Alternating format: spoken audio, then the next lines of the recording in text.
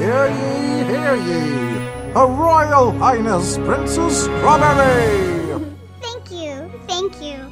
Hello, I am Princess Strawberry, and I am very honored to be a part of your glorious garden this season. Growing strawberries is ever so much fun.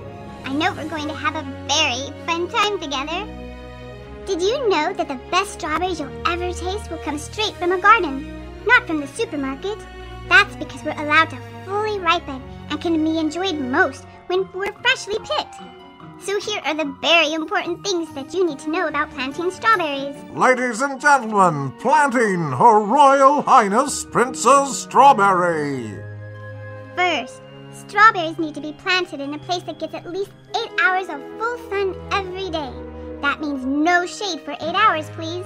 You can plant this in the ground, raised beds, or in containers, like a strawberry pot. Please space us 18 inches apart. Next, you must address my crown. Ladies and gentlemen, the crown of Her Royal Highness Princess Strawberry. Oh, goodness, no! I don't mean the crown on my head. Did you know that plants have crowns too? If you look at where my stems come together, right in the middle, and right above the soil in my bonnie plant pot, you'll see my true crown. Now that you've found it, please do not bury it. My crown needs light and fresh air to keep me royally healthy. When you're ready to plant, please remove the label from my bonnie peat pot, as well as tear off the rim and bottom of the pot.